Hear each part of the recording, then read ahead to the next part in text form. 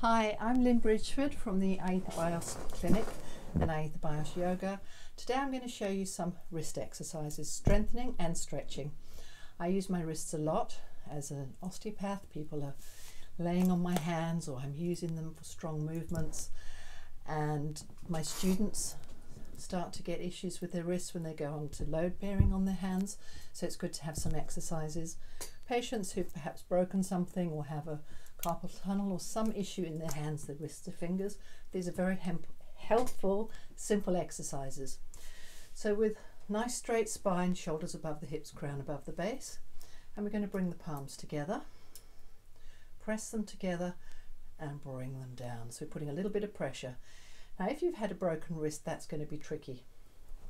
So then we would take something like a towel and put it between the heels of the hands so that the angle is not as much. So find where you can be comfortable. We never want to force anything. So we'll do the exercises without, but if you need the towel, use the towel. So press the hands together, turn the fingers forwards, keep the shoulders down, press the hands towards you. So you're pressing the palms to each other, bring them towards you. Then we can point them down, press together, lift up. And then the next one will be to turn them towards us and press away. If any of those hurt, back off. You might not get that far with the movement or you might not push that far. So we've got straight, forwards, down and in. So those, you might need to give a little shake of your hands afterwards. Then we're going to bring the hands onto the bed. So you want to spread the fingers and the palms. I like to stand up for this. So we spread the fingers and the palms. We get a full contact on the floor. So you can just, on the mat, Go side to side, giving a little stretch. Go forwards and backwards and make circles. So that'll move all the way through the fingers, the hands, the wrists and up into the forearm. Remember that the hand is moved by the forearm, forearm by the upper arm, so the arms are all above. Then we do the same thing, turn the fingers in, press the palms flat, we're going to forwards, side to side and rotate all nice and slowly feeling what's happening. Next one, we turn the hands outwards.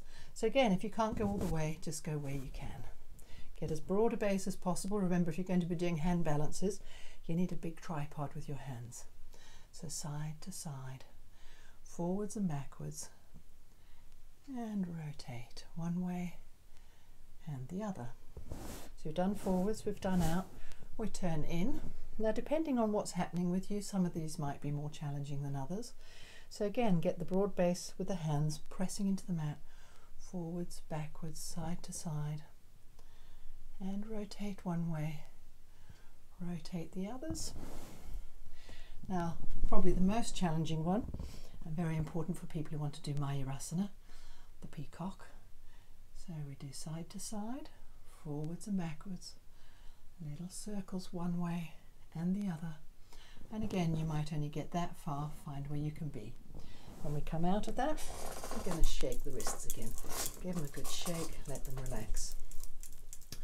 So the last bit, just to put it simply together, this is a bit of a brain teaser. We're going to bring the fingertips together and we just pump them together and apart a little bit. So a little pressure between the finger pads at the tips then we keep the fingertips together, a little bit of pressure, keeping the spine in a nice alignment. We're going to do a rotation as though we're moving like a wheel around an imaginary line. Getting all that movement through the wrist, forearms and up to the elbows. Now comes the brain teaser. You're going to take your right thumb and your left index finger. I'm mirroring you. Put those together. Then join the next three fingers. You'll have a little finger and a thumb left. Put those together, finger pads together it's changed the angle of the wrist so we're going to rotate again.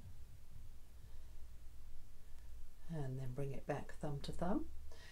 Then we're going to take the left thumb to the right index finger. Again I'm mirroring you. Join the next three together.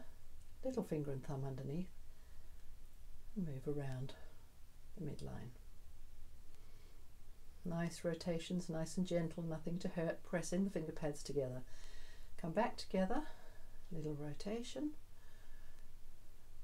a little, I think this looks like Incy Wincy Spider, And then we can bring the palms together and we want to move, keep the palms where they are and move the fingers. Now it doesn't matter if they only move a little bit, we just want to get some movement so we're getting movement in this joint. So don't worry if they don't quite look like mine do, I'm quite bendy. So we just want to get a little movement in those joints. Spread and shake. Thank you so much. Simple exercises, prayer position, prayer position, prayer position. That way, hands flat, forwards, backwards, side to side rotate. So fingers forwards, in, out and back. And then we have our Incy Wincy Spider, the rotation, the brain teaser, index finger to thumb, join the next three, one underneath. See if you can do that without sticking your tongue out and pulling faces. And then the other way as well. And the finger exercises. Little shake, and that should help you to relax all the muscles in the lower arm, strengthen the fingers and the wrists. Thank you so much. That's wrist exercises to help you stretch and strengthen. Thank you.